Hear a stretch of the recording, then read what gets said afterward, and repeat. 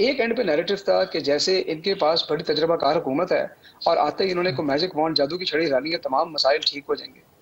फिर है मुश्किल फैसले। एक है कि आप बिल्कुल ही आपके पास कोई हिकमत अमली ना हो और आप एक के बाद दूसरा टैक्स लगाएँ, सोचे बगैर कि लोगों पे और मीशत पे इसका क्या असर पड़ेगा।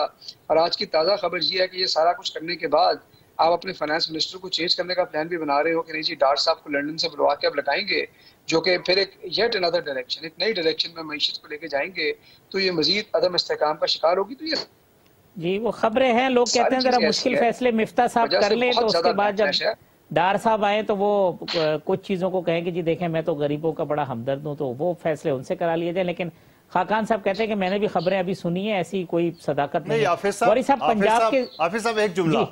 तो आप जी, जी. आ, हमारे मोहतरम एहसान खावर साहब से कह दे कि मिफ्ता मंजूर है तो रहने देते हैं। हसान खावर साहब कहते हैं इसाक डार के मुकाबले में अगर मिफ्ता मंजूर है तो उसको रहने जी। इसाक डार साहब के मुकाबले में कोई भी मंजूर है। कादिर मंदोख साहब को लगा दे बेशक।